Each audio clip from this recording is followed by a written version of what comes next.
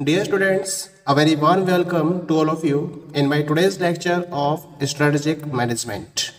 In today's lecture, we will discuss upon the topic why corporate strategy or advantages or benefits of corporate strategy. यानी कि आज के lecture में हम cover up करेंगे कि किसी भी ऑर्गेनाइजेशन द्वारा जब कॉर्पोरेट स्ट्रेटजी को फोकस किया जाता है तो उसके क्या क्या एडवांटेजेस या बेनिफिट्स उसको मिलते हैं किसी भी पर्टिकुलर ऑर्गेनाइजेशन के द्वारा स्ट्रेटेजिक मैनेजमेंट की हमेशा रिक्वायरमेंट रहती ही रहती है क्योंकि ये डिफरेंट टाइप के बेनिफिट्स प्रोवाइड करती है किसी भी एंटरप्राइज को।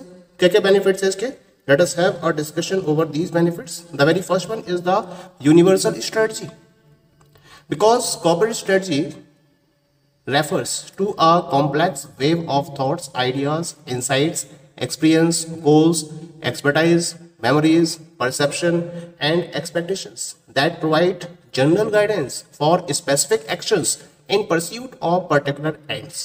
क्योंकि हर ऑर्गेनाइजेशन के द्वारा कुछ पर्टिकुलर ऑब्जेक्टिव्स को अचीव किया जाना होता है पर्टिकुलर एंड्स को परस्यूट किया जाना होता है तो उसके रिगार्डिंग स्पेसिफिक एक्शंस फॉलो किए जाते हैं। तो वो स्पेसिफिक एक्शंस क्या होने चाहिए? इसके रिगार्डिंग एक जनरल गाइडेंस प्रोवाइड की जाती है बाय द कॉर्पोरेट स्ट्रेटजी और इसके रेफरेंस में। ये एक कॉम्प्लेक्स सेट प्रिपेयर करती है थॉट्स का आइडियाज़ का इंसाइट्स का एक्सपीरियंस का गोल्स का एक्सपर्टाइज मेमोरीज परसेप्शंस और एक्सपेक्टेशंस का, जिसके बेसिस पर एक जनरल गाइडेंस इसके रेफरेंस में प्रोवाइड की जाती है। इसके साथ साथ फर्म्स के द्वारा ये भी फाउंड किया गया है कि अगर वो अपने पॉलिटिकल इकोनॉमिक टेक्नोलॉजिकल और साइकोलॉजिकल फैक्टर्स को एडजस्ट करना चाहती है और कोरिलेट करना चाहती है तो भी उसको कॉर्पोरेट स्ट्रेटजी को प्रॉपरली फोकस करना ही होगा। इसके साथ साथ जो कॉर्पोरेट स्ट्रेटजी रहती है, वो उस पर्टिकुलर प्रेफर्ड पाथ को भी प्रोवाइड करती है, जिसके बेसिस पर हम अपनी जर्नी को फॉलो कर सकते हैं, जिस पर हम एक्चुअल में जाना चाहते हैं। हम उस पर्टिकुलर जर्नी को प्रॉपरली कैरी ऑन कर सकते हैं on the basis of the corporate strategy It means that the corporate strategy is a universal strategy. That is clear? ये तो हो गया पहला benefit. The next benefit is keeping pace with changing environment. Whenever we are talking about the current or present day business environment, then it has become very dynamic and fast changing. That's why it is very difficult for any of the modern business enterprises to operate in such a dynamic and fast changing environment. Besides this, uncertainties, threats and constraints are also found in such type of environment so that the business houses are trying to find out the ways and means for their healthy survival क्योंकि जब हम present environment की बात करते हैं तो इस particular present environment के रेफरेंस में कंडीशंस बहुत ज़्यादा टिपिकल हो चुकी है। It is a very dynamic and changing environment बहुत तेज़ी से चेंज हो रहे हैं, क्योंकि डायनेमिज्म है इसके अंदर। और इसी वजह से जो बिज़नेस एंटरप्राइजेस हैं, वो प्रॉपरली ऑपरेट कर पाने में बहुत डिफिकल्टीज फेस करती हैं। A lots of difficulties are face by the business enterprises in order to survive तो सर्वाइव करना बहुत ज़्यादा टिपिकल हो चुका है इस पर्टिकुलर डायनेमिक और चेंजिंग एनवायरनमेंट में from the side of the organisation और क्योंकि अनसर्टेनिटीज भी हैं थ्रेट्स भी हैं कंस्टेंट्स भी हैं, इसी वजह से जो डिफरेंट बिजनेसेस हैं, वो ट्राई कर रहे हैं ऐसे वेज और ऐसे मीन्स को फाइंड आउट करने के, जिसके बेसिस पर वो अपने हेल्थी सर्वाइवल को एंश्योर कर सके। इसके साथ साथ जब हम इस टाइप के सर्कमस्टेंसेस की बात करते हैं तो यहाँ हमें सॉल्यूशन को इस तरीके से फॉलो करना है जैसे कि कॉपरेट स्ट्रेटजी के बेस्ट यूज़ को एंश्योर किया जा सके। और ये तब पॉसिबल होता है जब कॉपरेट स्ट्रेटजी के बेसिस पर हम अपॉर्चुनिटीज़ को प्रॉपरली एक्सप्लोर कर पाए और ऑप्टिमम लेवल ऑफ़ एफिशिएंसी को अचीव कर पाए। तो इस टाइप के सर्कमस्टेंसेस को केवल और केवल कॉपरेट स्ट्रेटजी के बेसिस पर ही डील किया जा सकता है, क्योंकि कॉपरेट स्ट्रेटजी ही जो भी पॉसिबल अपॉर्चुनिटीज़ होती है इस टाइप के एनवायरमेंट में, उसको प्रॉपरली एक्सप्लोर करने में कैपेबल होती है और उसके साथ साथ ऑप्टिमम लेवल ऑफ़ एफिशिएंसी को अचीव करने में भी कॉपरेट स्ट्रेटजी ही हेल्प करती है। That is clear now come to the third benefit of corporate strategy clear sense of strategic vision every firm competing in an industry has a strategy. ये तो बात क्लियर है कि जितनी भी फर्म्स कॉम्पीट कर रही हैं, किसी भी एक पर्टिकुलर इंडस्ट्री के अंदर, वो किसी ना किसी स्ट्रेटजी के बेसिस पर अपने ऑपरेशंस को रन कर रही हैं। बिना कॉर्पोरेट स्ट्रेटजी के कोई भी ऑर्गेनाइजेशन किसी भी इंडस्ट्री में अपने ऑपरेशंस को रन करने का रिस्क नहीं लेती है। क्योंकि स्ट्रेटजी डिफाइन करती है कि हम क्या अचीव करना चाहते हैं। और फिर उसके अकॉर्डिंग एक पर्टिकुलर कोर्स को चार्ट किया जाता है, कोर्स को डिज़ाइन किया जाता है मार्केट प्लेस में कि किस तरीके से हम उसे अचीव कर ले, जिसे हम अचीव करना चाहते हैं। किसी भी बिज़नेस फर्म के एस्टेब्लिशमेंट के बेसिस को डिफाइन किया जाता है उसकी पर्टिकुलर कॉर्पोरेट स्ट्रेटजी के बेसिस पर। एक तरीके से किसी भी फर्म के सर्वाइवल की जो बेसिक रिक्वायरमेंट है वो स्ट्रेटजी के बेसिस पर डिफाइन की जाती है। यानी कि अगर स्ट्रेटजी नहीं है तो ऑर्गेनाइजेशन का कोई भी बेस नहीं है। उसका सर्वाइवल एंश्योर नहीं हो सकता है। और आज के चेंजिंग एनवायरनमेंट में अगर कोई भी पर्टिकुलर फॉर्म अपने आप को सस्टेन करना चाहती है तो उसके रिगार्डिंग कॉर्पोरेट स्ट्रेटजी के द्वारा एक proper and clear vision provide किया जाता है और फर्म को एनकरेज किया जाता है कि वो उसके बेसिस पर अपने मिशन को प्रॉपरली डिफाइन करे। So in this way a proper clear sense of strategic vision is provided from the side of the corporate strategy. This is the benefit of corporate strategy. The next one is the motivating employees.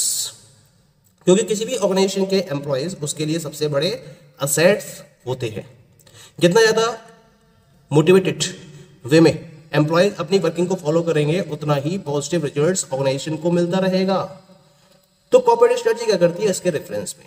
क्योंकि corporate strategy एक proper guidance provide करती है कि किन्हीं भी particular organisation में employees को क्या करना चाहिए, कब करना चाहिए और किस तरह से करना चाहिए, इसके साथ साथ कौन उस पर्टिकुलर वर्क को परफॉर्म करने के लिए रिस्पॉन्सिबल रहेगा।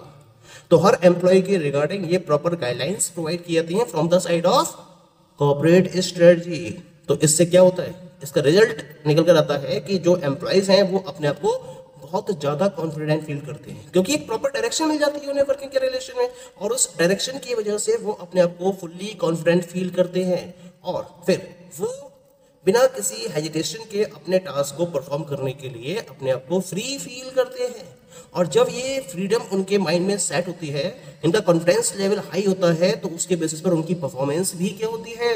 उनकी परफॉर्मेंस भी इंप्रूव होती है उनकी लेबर एफिशिएंसी बढ़ती चली जाती है उनकी लॉयल्टी बढ़ती है और इसका रिज़ल्ट क्या होता है industrial peace and good returns यानी कि ऑल ओवर वे में employees are motivated on the basis of the guidelines provided by the corporate strategy regarding what to do, when and how to do and by whom. तो एक तरीके से जो अपनी corporate strategy है वो employees को मोटिवेट करने में एक इंपॉर्टेंट रोल प्ले करती है। This is the benefit of corporate strategy to the employees of any of the organisation the next advantage और benefit of corporate strategy is strengthening decision making while deciding on corporate strategy the first step is to identify the objective of business concern Hence, a corporation organized under the basic principles of corporate strategy will find a smooth sailing due to effective decision making.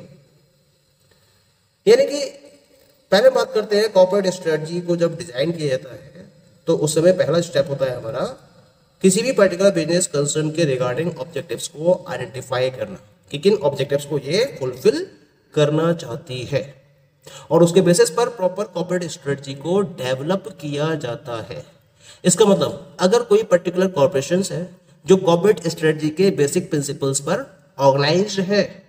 तो हमें वहाँ एक proper और smooth selling देखने को मिलती है in regard of the effective decision making यानी कि वहाँ इफ़ेक्टिव डिसीज़न मेकिंग को फॉलो करते हुए प्रॉपर वर्किंग को आगे बढ़ाया जाता है फर्दर वे में प्रोसीड किया जाता है, अगर कॉपरेट स्ट्रेटजी के प्रिंसिपल्स के बेसिस पर कॉपरेशन को ऑर्गेनाइज किया गया है।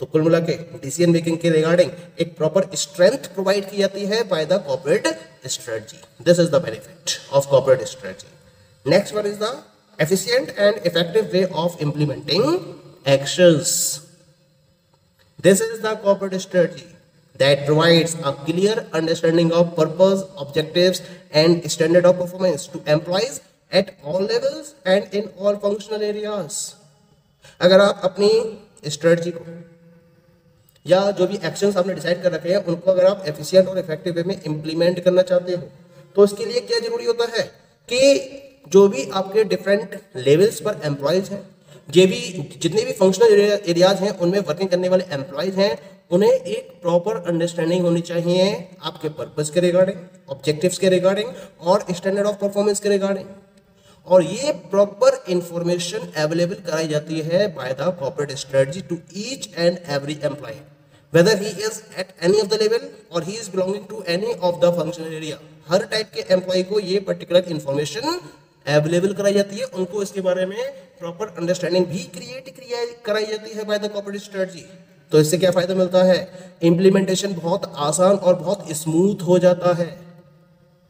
और इसका रिज़ल्ट क्या होता है कि जो हमारे एक्सपेक्टेड रिज़ल्ट है, इसको हम मोर एफिशियंसी और इकोनॉमिक वे में ऑप्टेन कर पाने में कैपेबल हो पाते हैं।